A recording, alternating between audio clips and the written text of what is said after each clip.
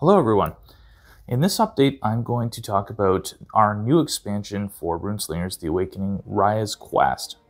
I'm going to go through all of the cards that we're going to be releasing in this set and sort of discuss why each one of them was created and what their purpose for play is. I'm going to start with Rya. So Rya is a new Runeslinger, and she has an ability Severing Blows. And Severing Blows states that effects you control that would deal damage to target Runeslinger cause the target to lose that much health instead. When the target loses health this way, the target is hit by that health loss effect. What this means is that a lot of attack rune spells have on-hit effects. And those on-hit effects can be very powerful. But in today's uh, version of the game, without, without ability, it's very easy to block those effects uh, so that they don't deal damage. For example, Viper Strike, which deals 4 damage, and if it hits a rune slinger, it applies 4 ailments to the target. In this case, you could pay 2 light, play uh, Viper Strike, and ensure that the damage is going to hit. So essentially the target is going to lose 4 health, be hit by Viper Strike's effect, and then you can apply those ailments as if it was a direct hit. So this is different than dealing direct damage to the target because some effects can allow you to uh, block direct damage, but if you're using Severing Blows, that's not possible. So this is going to open up a whole new uh, way of sort of playing uh, attack and on-hit effect-based decks. And there is uh, a lot of different things that you can do with Forged Strikes as well. So Forged Strikes uh, is a new stance for the Lightward Runeslinger that reads the text effects on cards you control that state attack are changed to spirit. And likewise, text effects on cards you control that state spirit are changed to attack. And what that does is sort of flip um, your attack rune spells into spirits and your spirits into attacks uh, for basically anything that changes or alters the damage or effects of those. So, for example, Chroma Dagger, its effect will now apply to spirit rune spells. So, there's a whole bunch of manipulation you can do to dramatically change uh, how certain cards interact with each other with just this two combination of cards. I think Forged Strikes is going to be really fun for, for deck builders to play with. It's going to open up a whole range of opportunities that they didn't previously have for deck building, which is what Runeslingers is all about. The next uh, card that we're going to talk about is Truth Extractor. Truth Extractor has a new keyword, Quick, that will apply to defense cards uh, in, in upcoming sets. And what it allows you to do is to use the card by turning it sideways on the turn that it is played.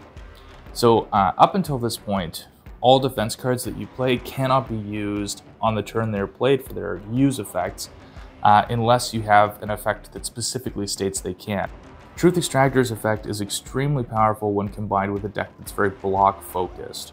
So previously, block focused decks didn't have a large arsenal of, of sort of extra effects in their toolkit, and they kind of relied on blocking. But if you're playing someone who has a lot of uh, utility rune spells and doesn't use any attack or spirit rune spells, your, your blocking is not receiving the benefit that you need.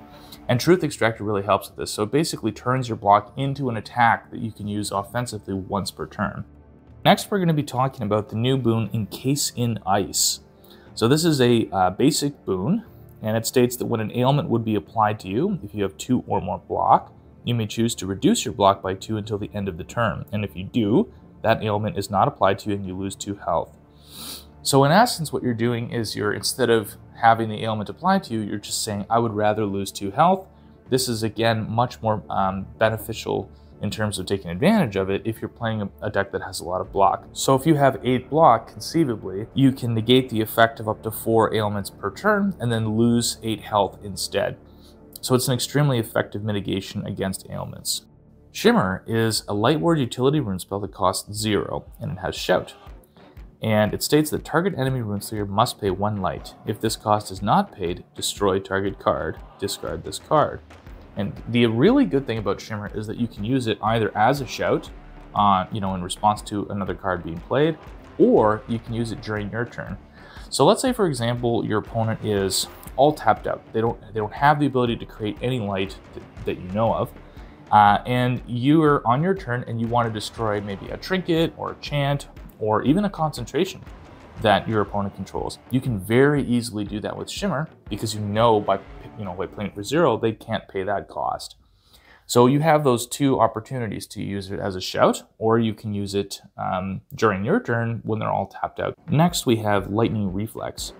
Lightning Reflex is a Lightward utility rune spell. It costs one light, and it states that you draw a card for every five points of block you have. When you discard this card to block, place this card under target Runeslinger. While this card is under your Runeslinger, you have minus one block and minus one maximum health. Lightning Reflex really has two very different uses. You can either play it for its effect and draw up to, you know, three or even four cards if you have 20 block, which, which in playtesting has been done.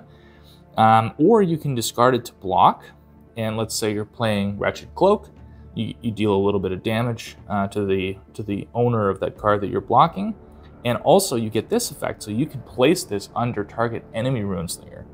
And as long as they have that card under their Runeslinger, they have minus one block and minus one maximum health. Let's say you're playing an attack focused deck with a lot of cards like Glancing Arrow, Viper Strike, that deal four damage and are almost a go-to uh, for blocking. Same thing with Flaming Fists. So these cards, they apply ailments, they're very powerful, but they deal low damage and they're very easy to block. If you play even one Lightning Reflex, you'll take their block from 4 to 3 and open that window where even if they were to block, they're still taking at least one point of damage from that hit, and that will, you know, pierce through to their to their health and, and apply the ailments or the on-hit effects. So Lightning Reflex has a ton of utility, and I think it's going to see a lot of play, especially uh, in combination with block-focused decks. Reap and Sow is a light ward spirit rune spell that costs 5 light and has Choice, Pierce, and Shout. And it has two effects. The first effect is that it deals 12 damage to any target, and it deals plus 8 damage for each armor trinket you control. So if you're playing an armor focused deck, let's say you have two in play, uh, it's going to be dealing 28 damage with Pierce and Shout, which is very significant. Uh, the second effect states that it destroys target card and you draw a card, and you can repeat that effect for each armor trinket you control. So basically, it gives you this utility of whether you want to use it offensively or defensively if you're playing um, a trinket, defensive trinket focused deck. And Reap and Sow can be paired very well with Wretched Cloak, for example, because now you're, you know, it goes from 12 to 18 damage. Uh, or you can destroy uh, two cards and, and draw a card. So there's a ton of utility by even having just one armor trinket in play. It can, it can be very overwhelming. So this is this is sort of in line with that block focused deck, but doesn't necessarily require you to focus on a block oriented strategy to benefit from it. Next we have Liquefy, which is a basic utility rune spell It costs one light, and it has the keyword Ale now, Ale is a new keyword that we're introducing, which means that in order to play this card as a cost, you must apply one ailment to your Runeslinger. And because this is a cost, you must be able to apply an ailment to your Runeslinger. So for example, if you have four boons concealing, you know, all four ailment areas on, of your field, that means ailments cannot be applied to you, which means you could not play Liquefy. Liquefy states that target Runeslinger loses 8 health. Now, this is a very interesting card because it is not does not benefit from damage like traditional cards that deal damage. However, let's say, you know, a Runeslinger is at 2 or 3 health. This is the perfect card to play to sort of pierce through that damage, and it's not an attack or spirit rune spell, so this cannot be blocked, for example, unless you have the ability to block health loss if you're playing Mirror. Uh, but in most cases, this is going to, to go through and be very effective. So a little bit of a different card. We haven't we haven't seen uh, health loss on on a utility rune spell in the basic class before. So we're going to start trying more more things like this, like health direct health loss uh, effects that are not necessarily tied to ailments. Fumble is a basic utility rune spell that costs one light. It has shout and has the effect target runeslinger has zero maximum block. Draw a card. Now, when you have zero maximum of something, that that number cannot go up for the duration of the turn uh, that, that that maximum is set to zero. So for example, if I have, you know, four block, my block is set to zero and I would gain six block, I can't gain block because my maximum is zero for that turn. So Fumble has an incredible ability to sort of shut down block decks at shout speed. So let's look at an example of a Runeslinger for, that, that may have maybe 20 or 15 block uh, because they've, they've played various cards and sort of pumped up their block for a big swing with Truth Extractor. Uh, when they play Lightning Reflex to draw four, three or four cards, you can fumble, uh, prevent that from happening, basically lock down their turn and draw a card.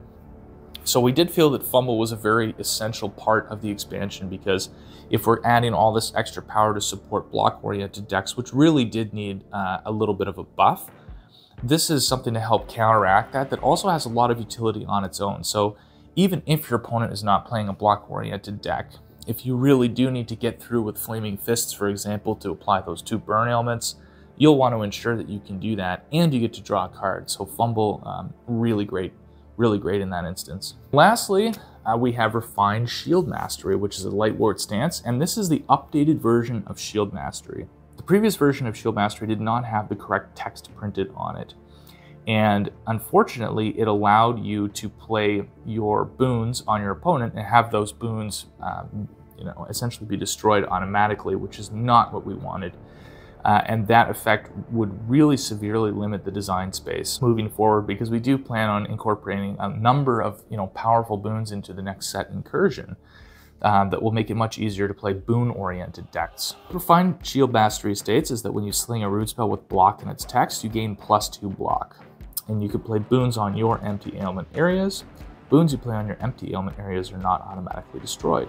So as a great example, if you have Divine Barrier, you can play Divine Barrier, and even if you don't have any ailments, you can set that boon in one of your ailment areas and benefit from its, its plus two block bonus. So in addition to all nine cards that are in uh, Rya's War Pack, there are also two copies of each ailment, and each of these feature the new black border as well as the new um, Rya's Quest promotional icon and the set list for War Pack 1. One of the things we fixed with the ailment pack is weaken. So weaken, unfortunately, in the in the alpha set was misprinted. Uh, its second effect read the same as debilitates, which was that you cannot use um, defense cards that you control and you cannot shout. And that, unfortunately, is not the correct text for weaken. Weaken should read, your trinkets have no effect. Weaken 2. 500 copies of Rya's Quest were printed. Uh, so that means that in Rya's Quest alone, there are 1,000 copies of each ailment card. As well, we also have ailment packs available. There's 500 of those, which each have three copies of each ailment with the correct text on them. So I encourage you to check these out, pick up these cards. They're going to allow you to do a lot of new things with deck building that you weren't previously able to do. Really going to help building around block-oriented decks, which are a ton of fun to play. This was just the sort of extra spice that those decks needed to really come into uh, a tier one competitive format, which we're really looking forward to see.